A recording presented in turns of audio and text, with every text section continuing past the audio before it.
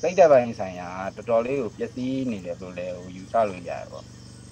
ဟုတ်ဆိုအရင်တော့ဆိုအဲ့လိုမျိုးဟိုအသေးခံပြီးတော့ဘရုပ်ကျွေးနေမှာဟုတ်လားဝင်ပြီးအသေးခံပြီးပြစ်တယ်လို့ပါတော့အဲ့လိုမျိုးတွေကျွန်တော်တို့လည်းကြားခဲ့တာပါဒီမြန်မာစစ်တပ်ဘက်က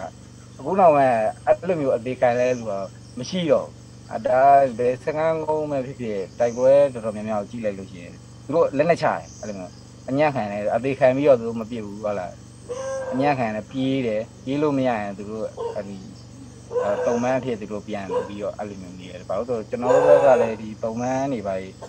ပြီးလို့ရှိရင်ကောင်းကောင်းမွန်မွန်ဆက်ဆံလို့သူတို့ပြီးရပါတော့သူတို့လိုမျိုးအဲ့လိုမျိုးတောက်ကြည့်ပြီးတော့ဟိုရိုက်တာနှစ်တာရေးမေးရအဲ့လိုမျိုးမရှိဘူးကောင်းကောင်းမွန်မွန်ပဲဒီတုံမန်းတုံမန်းလိုပဲကျွန်တော်တို့အားရဲအဲ့ကြောင့်မလို့လဲသူတို့တုံတောင်ကမနိုင်မှန်းသိဟိုတက်မတိုက်တော့ အဲ့လိုမျိုးမင်းတို့တက်တက်မလာတဲ့အချိန်မှာတော့ဒီကောင်တွေပြည့်ချင်းပြစ်လိုက်နေတာတကယ်လို့တက်လာပြီဆိုရင်သူတို့ပြေးပထမဆုံးပြေးပြေးလို့မှမလို့တော့ဆိုသူတို့လက်နဲ့ချအဲ့လိုမျိုးဟိုအသေးခံပြီးတိုက်တဲ့ဒီဆိုတာတော့မရှိခဲ့မရှိတော့ဘူးဟိုအရင်တော့ကတော့ဒီကောင်တွေအဲ့လိုမျိုးကျွန်တော်တို့ဒီဆန္ဒပြတော့ဒီကောင်တွေဖင်ရခဲ့ရပါအဲ့လိုမျိုးလမ်းမှာမဟုတ်လားဘယ်ကောင်သေးရဲလဲဟာ